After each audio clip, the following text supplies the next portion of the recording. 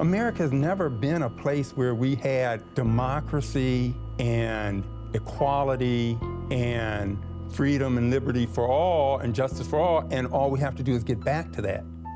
Race in this country has never really been removed from the political dialogue.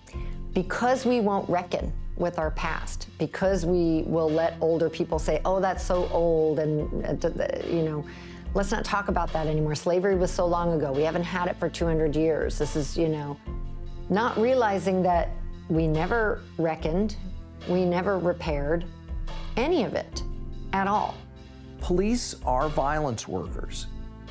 You know, we've been sold this false choice of policing or nothing, which has been used to terrorize people into accepting policing when there's a whole long list of things that they would rather have that they know would help address the problems in their communities. When we say abolish the police, we are saying we do not want policing as we know it to exist anymore.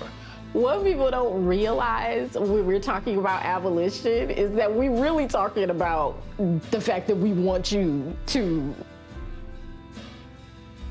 be be a decent person.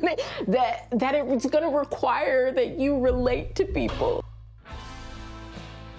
We created a report and it's called Defunding the Police, Defining the Way Forward for HRM. Like the myth is that we need all these people in jail while they'll be running around the streets, and that's not true. So I really try to shift us from believing that defunding is radical to recognizing that what is actually radical is investing billions of dollars into policing. So like not agree that defunding the police is this radical lefty, like communist, Marxist, whatever, that is actually practical, it's good social policy, it makes sense, and here's a roadmap to it.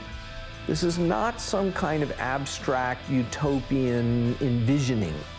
This is a very practical programmatic intervention.